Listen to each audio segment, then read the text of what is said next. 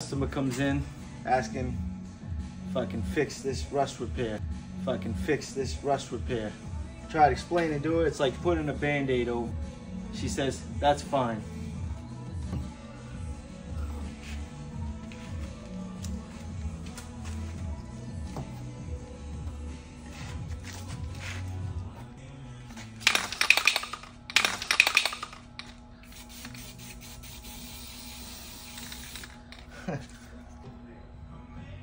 no guarantees.